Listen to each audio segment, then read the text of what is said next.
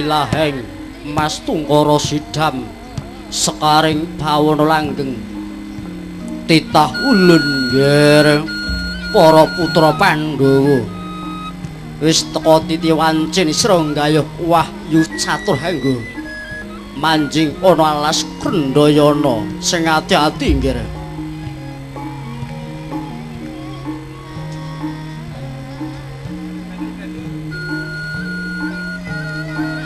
anakku yongger kowe mbiyen isih bayi tak cucuk kaya manuk. Tak indit kaya wadi. Yen awan tak dedulang yen bengi ndak sesepi. Bareng kowe dewasa pinter muluk marang ibu yongger kowe sawijining anak kang mrucu saka pudangan luput saka gendongan. Yongger nadyan wong tuwa dipunjung ingkang paribasane. Yen anak mau seneng mung padu tukaran kaya-kaya pun ibu kecemplung neraka jahanam. Nanging nanging ger nadyan wong tuwa mau bisa ndidik anak kaya-kaya pun ibu ngerti swarga loka swargane wong tuwa gumantung ana anak yongger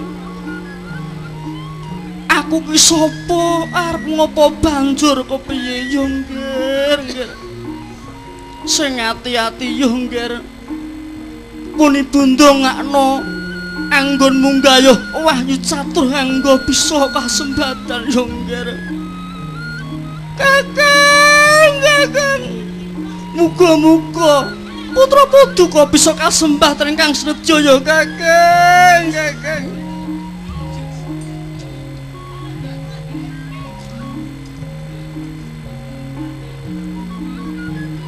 Ger aku minangka duta para Pandhawa nggonmu arep nggayuh wahyu catur anggo. Yo tak biantu Ger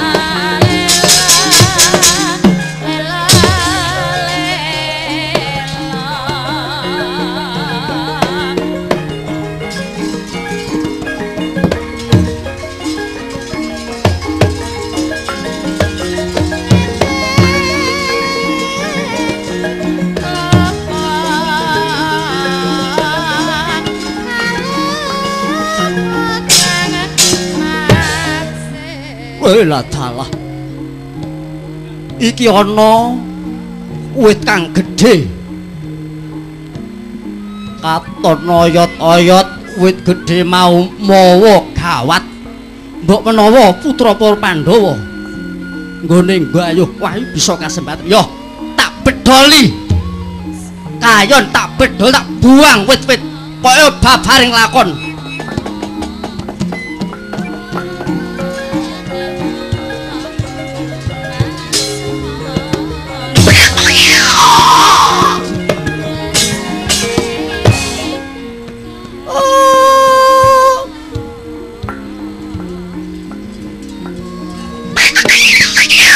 Mama.